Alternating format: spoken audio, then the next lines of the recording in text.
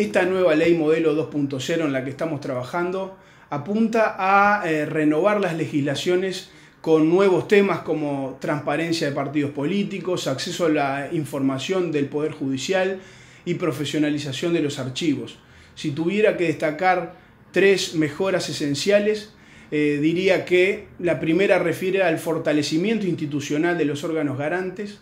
la segunda refiere a la restricción del alcance de las excepciones al derecho de acceso a la información pública y la tercera sería precisamente la profesionalización de la gestión de la, de la información y de los archivos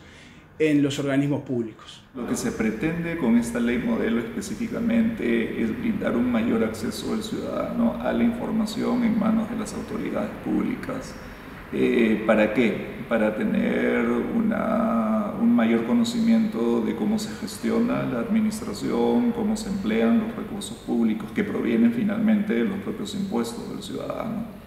también para incidir en los modelos de gestión que impactan eh, en el ciudadano común y corriente, o porque el acceso a la información va desde las altas esferas hasta los gobiernos locales.